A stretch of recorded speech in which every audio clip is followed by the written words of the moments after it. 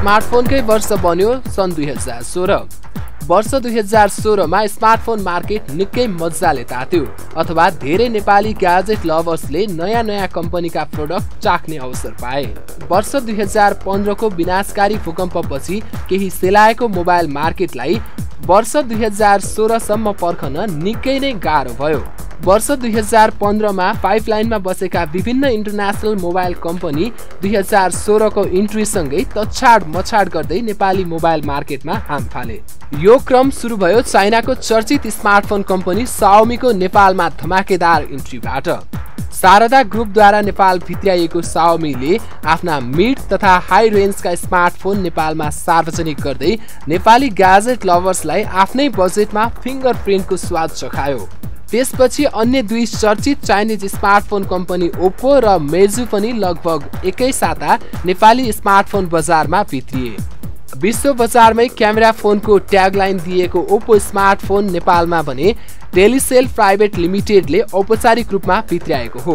ओप्पोको history हेर्नुपर्दा यो company सन् दुई हजार एकमा स्थापना भएको देखिन्छ र सन् दुई हजार पाँचमा एमपी थ्री प्लेयरबाट आफ्नो टेक दौड सुरु गरेको हो। सन् दुई हजार आठमा ओप्पोले आफ्नो फर्स्ट फोन लन्च गरेको थियो। पछि ओप्पोले major international market USA Australia र अन्य देशमा पनि आफ्नो बजार विस्तार गर्दै सन् दुई हजार सोह्रसम्म आइपुग्दा विश्वका बयालिस देशमा आफ्नो पक्कड लिइसकेको छ। नेपालमा भने ओप्पोले सेप्टेम्बरमा आफ्ना तिनवटा मोडल ओप्पो एफआनएस ओप्पो ए थ्री सेभेन र ओप्पो नियो सेभेन सार्वजनिक गर्दै प्रवेश गरेको हो। ओप्पो सँगसँगै जस्तो लन्च भएको अर्को चाइनिज स्मार्टफोन कम्पनी हो मेजु सन् दुई हजार एघारमा बेजिङमा स्थापना भएको Meizu smartphone Russia Israel France Italy हुँदै सन् दुई हजार चौधसम्म पुग्दा ग्लोबल ब्रान्ड बन्न सफल भयो।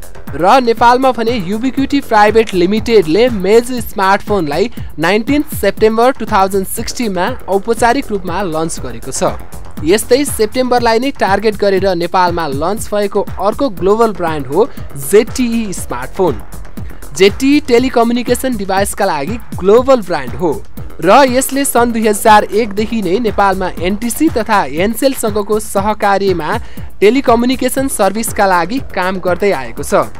साथै जेटिई ब्रान्डले सन् दुई हजार अठारसम्ममा नेपालमा हाइएस्ट सेलिङ ब्रान्डको रूपमा स्थापित गर्ने टार्गेट समेत राखेको छ।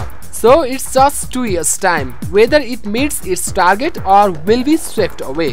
त्यसै गरी सन् दुई हजार सोह्रमा औपचारिक रूपमा नेपाल भित्रिने स्मार्टफोन कम्पनीमा OnePlus Obi Worldphone Leagoo InFocus पनि रहेका छन्। वान प्लस र ओबी वर्ल्ड फोनले ग्रान्ड लन्चिङ इभेन्ट नै गरेर औपचारिक रूपमा नेपाल प्रवेश गरेका थिए। Chinese brand one plus I hub private लिमिटेडले र American brand ओभी world phone Startech private लिमिटेडले नेपालमा भित्र्याएको हो। त्यस्तै वर्षान्ततिर ताइवानी स्मार्टफोन कम्पनी एसटिसी पनि आधिकारिक रूपमा नेपाल भित्रिएको छ। एसटिसी डिजायर सिरिजका स्मार्टफोनहरू धेरै नै आकर्षक रहेका छन्। यसरी वर्ष दुई हजार सोह्रको मोबाइल टेक्नोलोजीलाई एनालाइसिस गरेर हेर्दा अहिलेसम्मकै धेरै ब्रान्ड नेपाली मोबाइल मार्केटमा भित्रिएको देखिन्छ। यसरी धेरैभन्दा धेरै ब्रान्ड नेपाल भित्रिनु हामी ग्याजेट फ्रिकका लागि भने धेरै नै खुसीको खबर हो। तर यसले गर्दा यति धेरै कम्पिटिसन बढेको छ कि अब नेपालमा अलरेडी एक्जिस्टिङ कम्पनीहरूले आफ्नो मार्केटिङ शैली तथा प्रडक्ट गुणस्तर नबढाउने हो भने अवश्य पनि यो मार्केटमा टिक्न निकै नै गाह्रो हुनेछ।